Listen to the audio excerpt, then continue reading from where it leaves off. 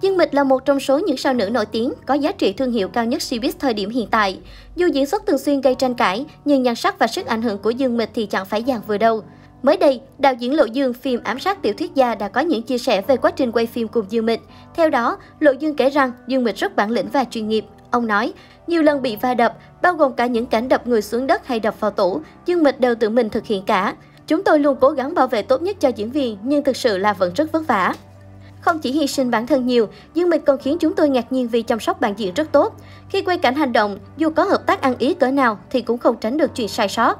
Nhiều khi vì một chút sai lầm mà diễn viên bị thương phải chịu đau đớn, hoặc là có trường hợp bị đánh nhầm làm cho bạn diễn bị trúng chiêu, tình huống này quả thực rất khó chịu.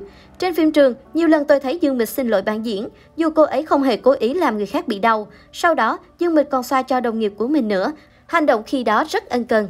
Trong showbiz, Dương Mịch nổi tiếng là người cư sĩ khéo léo, EQ cao. Khi tham gia bất kỳ dự án phim ảnh hay show truyền hình nào, Dương Mịch cũng được các đồng nghiệp ngợi khen. Cách nữ diễn viên trò chuyện, giao tiếp với đồng nghiệp cũng được đánh giá là tinh tế và chừng mực. Sau ám sát tiểu thuyết gia, Dương Mịch có thêm phim truyền hình Bào Phong Nhãn. Tuy không quá rầm rộ trên truyền thông, nhưng Bào Phong Nhãn vẫn được đánh giá cao bởi nội dung theo hướng trinh thám, điều tra kịch tính.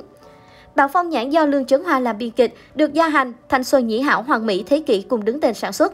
Bộ phim có độ dài dự kiến là 46 tập, đi theo thể loại hiện đại, với nam nữ chính đều là nhân viên của Cục An ninh Quốc gia. Sự thông minh khéo léo của Dương Mịch còn thể hiện qua việc nữ diễn viên này cao tay trả lời những câu hỏi mang tính nhạy cảm từ phía phóng viên. Mới đây, Dương Mịch tiếp tục khiến dân tình phải ngã mũ thắng phục trước chỉ số EQ cực cao khi nhận được câu hỏi liên quan đến Angela Baby và Phạm Băng Băng. Tham gia trong một chương trình tập kỹ mới đây, Dương Mịch bất ngờ nhận được câu hỏi mang tính chất nhạy cảm liên quan đến hai nữ đồng nghiệp khác là Angela Baby và Phạm Băng Băng. Cụ thể, câu hỏi đặt ra cho Dương Mịch như sau. Phạm Băng Băng và Angela Baby, nếu có một người phải biến mất khỏi trái đất thì bạn hy vọng đó sẽ là người nào?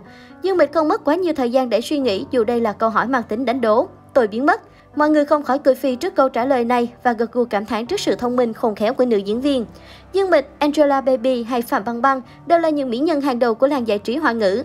Ý thức được việc trả lời Angela Baby hay Phạm Băng Băng, bản thân Dương Mịch đều rơi vào tình cảnh bị fan hai bên ném đá.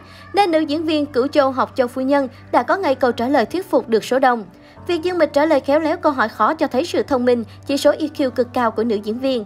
Ngay cả trong tình huống đòi hỏi sự nhạy bén ngay trên sóng truyền hình như thế, Dương Mịch vẫn có thể tự giải vây cho bản thân dễ dàng. Đây không phải lần đầu Dương Mịch thể hiện bản thân là người thông minh, nhạy bén. Nhiều người tỏ ra ngưỡng mộ, không phục nữ diễn viên vì chỉ số IQ, EQ ở cô là cực cao. Và khi nghe Dương Mịch nói về gia đình mình, ai mấy mới đều vỡ lẽ rằng hóa ra người đẹp thông minh, nhạy bén như thế chính là nhờ vào di truyền. Cuối tháng 12 năm 2020, khi tham gia Tiến lên nào, thiếu niên rực rỡ, Dương Mịch đã có dịp chia sẻ về gia đình. Người đẹp tiết lộ, trong gia đình cô có không ít người học tập tại ngôi trường Đại học danh tiếng châu Á, Đại học Thanh Hoa. Không chỉ có các chị em theo học, bác của Dương Mịch cũng là giáo sư giảng dạy tại đây. Dương Mịch còn tiết lộ thêm vì bản thân dở môn toán nên đã thay đổi quyết định nhập học tại Học viện Điện ảnh thay vì Đại học Thanh Hoa. Dù vậy, mỹ nhân này vẫn xuất sắc độ thủ khoa của khoa biểu diễn, cho thấy trí tuệ, tài năng không phải dạng vương. Dù là cái tên với nhiều thị phi nhưng không ai có thể phủ nhận, Dương Mịch không chỉ xinh đẹp, còn là một trong những nữ nghệ sĩ tinh tế, thông minh và khéo léo trong cách ứng xử. Những lần đối đáp trôi chảy của Dương Mịch với cánh phóng viên khiến dân tình phải thán phục chỉ số EQ cực cao của nữ diễn viên xinh đẹp này.